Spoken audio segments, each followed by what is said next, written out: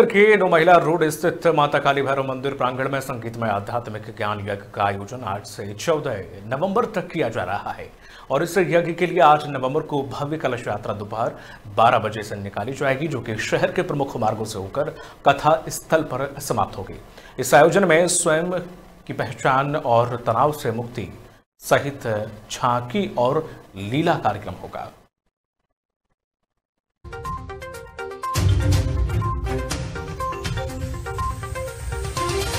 ये कथा 8 नवंबर से 14 नवंबर रहेगी। इसमें सात दिन का सप्ताह पारायण जिस तरीके से भागवत कथा होती है, भगवान ने जैसे हम मनुष्य आत्माओं को सात दिन दिए हैं और कहा है, जैसे राजा परीक्षित को सात दिन में सुखदेव जी ने मुक्ति प्रदान की, जीवन मुक्ति प्रदान की, ऐसे हम मनुष्यों को अपने जीवन जीते हुए भगवान ने जो हमें मुक्ति और जीवन मुक्ति का रास्ता दिखाया है, वो ये सप्ताह में हमको सुनने को, देखने को मिलेगा।